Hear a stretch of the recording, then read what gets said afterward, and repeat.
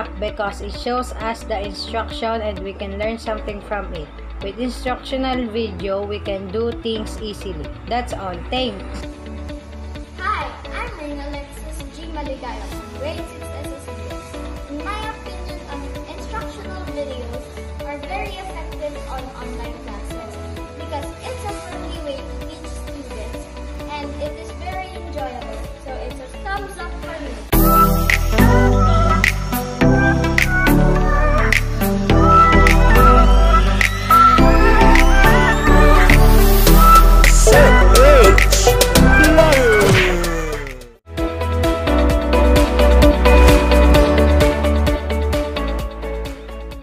Instructor presence is really important in online teaching, and video can make it all happen. Good morning, my dear teachers. My name is Sir Hendrix Dimatulak, your Gurung Alae, and I will give you some tips on making your video effective. There are a few things to consider in making video lessons, but the most important is yourself. Madami sa atin, my dear teachers, nahiya tayong humarap sa camera. Pero ito ay isang paraan na pwede nating i-edit, palitan ang ating mga dapat palitan o kung nagkahamali tayo sa mga videos natin, my dear teachers, pwede natin itong palitan. So this thing, this way of teaching is really effective if ating aayusin muna ang ating sarili. But the most important is yourself. You must be a good storyteller. This kind or this way of teaching is really effective, especially nowadays. Ang mga bata natin kasi ngayon, mga dear teachers, mga kapwa ko guro, mas mahilig silang manood ng mga videos. There are ways on making your videos effective. First, you have to plan. Planning save time. Save time. Save time because your class will be structured, guided. Yan. Kasi kung may plano ang iyong video lesson, hindi kung ano-ano ang mga kasabihin mo. First, have a plan.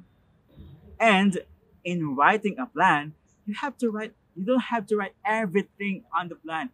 It can be bulleted. Yung mga mahalaga lamang, my dear teachers, ang ilalagay mo at isusulat mo sa iyong video lesson. Kasi ang mga bata natin, ayaw nila ng madaming madaming kasi sinasabi. Kailangan maging um, explicit ang iyong pagtuturo sa mga bata. Sa mga bata kasi pag nakitang nakatamay ka na panoodin, they will change the video, they will change the channel. So as a vlogger, kahit ako, before ang vlogger ko, 20 minutes siya. Pero napansin ko na nanonood. Pero when I make it 13 minutes or 12 minutes, 10 minutes, mas madaming nanonood. So for you to have, um, uh, to, to save time in making video lesson, you have to plan. Kasi anumang bagay, kailangan i-plano natin siya.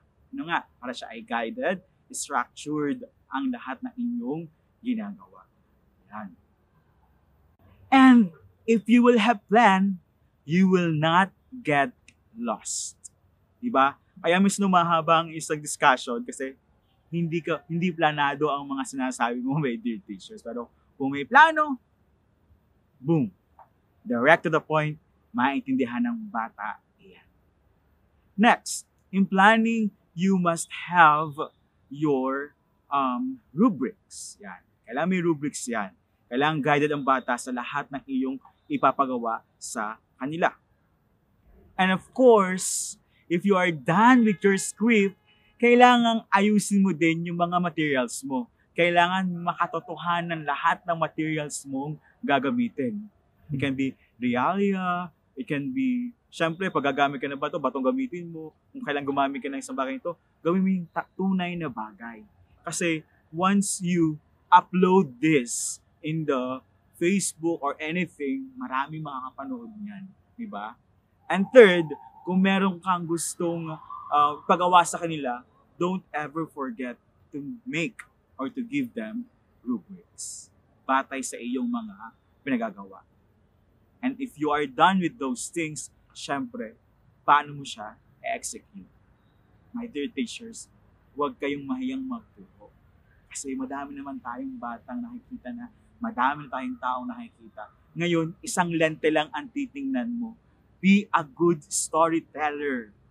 at kailangan yung kauna-unahan mong ipapalabas sa video lesson, bang! Kailangan siya may tama ka agad para lagi kang aabangan ng iyong mga mag-aaral. So first, you have to plan your class, your video lesson. Make a script. Sir, pwede po bang gamitin namin yung aming mga lesson plan before? You may use your lesson plan, pero hindi mo kailangan isulat lahat ng bagay na iyon. Piliin mo lamang yung pinaka mahalaga. And then if you're done with your script, you can start filming. But remember, my dear teachers, timeliness. Hindi porket COVID-19, COVID-19, COVID-19 lahat ang iyong gagawin. Kasi ang COVID-19 sobrang gamit na gamit na yan ngayon.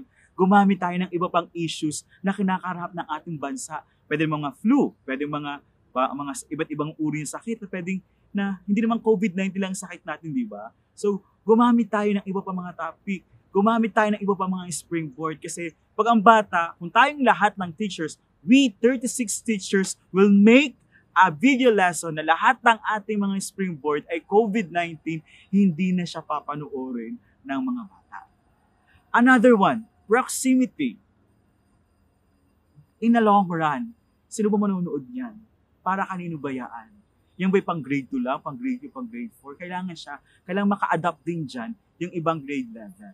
Kaya nga minsan, kaya nga sa Kids World, meron tayong tinatawag na spiral. Diba? Paari siyang gamitin ng kahit sino.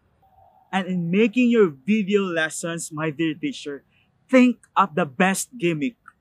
Gumawa tayo ng mga gimmick na kakagating, na papanoorin ng mga bata. You can use your costume. Pwede mag-costume ka Pwede kang magawa ng tag name mo. Pwede kang gumawa ng kanta mo na kapag kapag uh, nakapahinggan yung kantang yon, ay, si Sir ano, si Sir, si Sir H yon, di ba? So, yan ang mga OBB ang tawag namin dito. Tawag namin sa kanya ay OBB. Panarinig ng OBB, oh, it's all about Sir H. Explorer. Mga ganyan po ang tawag natin doon. So, be creative. Another thing in making video lesson, huwag kang gagawa ng video lesson kasi gusto mo lang sumikat. Remember, we are making our video lesson for our pupils, for them to learn, para matuto. Para sa akin, kung ako, kung ako, kung ako ay gagawa ng video lesson, bago ko siya um, i-produce, ipapacheck ko muna siya sa coordinator natin. Tama po ba ituturo ko? We have Sir Jerome, we have our coordinators there. Pwede pa check nyo, tama ba itong aking mga ituturo bago mo siya, bago mo siya i-film kasi kapag siya itinuro mo kaagad na hindi mo check yan, mag-aalam-alaman ka, masayang lamang ang iyong oras. So, have time or ask our dear coordinators or our master teachers kung tama ba yung ating ginagawa. Another way is the production. And in production, the most important is your equipment. Wala naman po ako, sir, magandang camera. Wala akong ganito, wala akong ganyan ginagawa ng cellphone natin, we may use our cellphone. And I don't think na tayo ay walang magandang cellphone. Wala tayong magandang gadget tulad ng cellphone. Dito ako kay Sir Domel. Sir Domel kasi talaga, Sir Domel, lahat na equipment nasa kanya na. Kung kasama ka sa TV board, makikita nyo yung, yung work nila. Madami silang equipment. Pero we as a teacher, pwede tayong gumamit ng ating cellphone. Another equipment, napakaswerte natin mga taga Library Pilot because we have our own chroma, yung green screen. We have our studio. Pwede yung gamitin siya. Eh, hindi nga kami, sir, maalam magawa ng ganyan. Just YouTube. We have YouTube. Si Sir Hendrix, nag-aaral lang po ako ng aking pabablog, ng iba't ibang mga ng mga um, application na kinukuha ko lang yan lahat sa YouTube. So, let's go back to equipment pwedeng cellphone lang ang ating gamitin. Kung may cellphone ka na, we have Lazada. Doon ka bumili ng mga microphone. Sir Domer, alam ko, doon lang siya bumibili ng mga microphone. At ako, bumili ako ng microphone din doon. So, we as teacher, alam natin sarili natin na marami tayong gastusin. Pero nowadays, para sa akin, sa aking experience nowadays, um, parang kailangan ng teacher talaga, meron siyang sariling ano, equipment tulad ng mga ganito mga cellphone, mga microphone. Kasi minsan, dumarating yung oras na tayo ay may sakit, may time tayo na ayaw magturo, we can film a video. Just like what I'm doing this time. Di ba? So, hindi ko alam kasi kung makaka-uwi ako na maaga. Sabi ko, Sir Domel, tulungan mo ako, mag-video tayo. I have the cellphone, or si Sir Domel, swerte ko kasi hindi siyang camera. Film ko na lang, pwedeng i-upload ko do, and I can talk with you. Wala nang imposible, my dear teachers, sa panahon ngayon. Another thing, my dear teacher, bago kayo mag-record ay mag-sample recording muna kayo. Baka record kayo ng record, yun pala naman, hindi naman pala gumagana yung inyong mga video. Di na sayang lang pagkasalita mo. So, sample recording, after sample recording, tama ang audio, tama yung lights, tama yung place. Ang gagawin nyo ngayon, magpa-final recording na kayo. Siyempre, remember, confidence. Diba? Sino ba magtitiwala sa iyong sarili kundi ikaw din lamang naman. And always make yourself presentable in front of your pupils. Huwag tayong gagawa ng video lesson ng suot mo ay basta na. Diba? So, baka minsan maisip mo yan. Baka bilang may record ng bata yan. Ikaw din. Diba? So, confidence starts with our Clear? So, production, we have the equipment, sample recording, and then the final recording. And now we are done with our planning. We are done with our production. The third one is the most important. Of course, the post-production. In post-production, my dear teacher, yan ang pinaka kinatatakutan natin lahat. Kasi we thought hindi natin kaya yan. Be creative. Be creative. Pero wag sanang nakakahilo ang gagawin mong mga videos. The simpler, the better. Ang isusulat nyo, Sir, isusulat ba namin lahat ng mga ng mga text doon? No! Isulat nyo lang yung mahalagang text. Alam niyo naman ng mga bata natin, pag mahaba binabasa, hindi nila iniintindi. Isulat nyo na lang yung pinaka mahalaga. Paano nga kami, sir, mag-edit? Hindi nga kami maalam. Wala kami mga application napakaraming application makukuha natin sa internet. Napakadali na ng buhay ngayon, my dear teachers. May YouTube na magtuturo sa inyo paano ba ito ginagamit. So we have the KineMaster, we have the Luma Fusion, and we have the Filmora. At marami pang ibang maaari natin siyang gamitin. Just explore. Don't ever, ever be afraid to explore. Ako, hindi ako nagayabang, pero ini-explore ko lang siya. And in putting text, wag sobrang dami yung mga pictures. Hindi man kailangan sobrang dami nang lumalabas dyan kasi mas maguguluhan pa ang mga bata pag dami pa ng iyong inilalagay. And also in post-production, napahalaga ang audio. Pag hindi maintindihan tinuturo mo, syempre, ano mangyayari sa video lesson na iyong gagawin kung hindi maliwanag ang iyong sinasabi?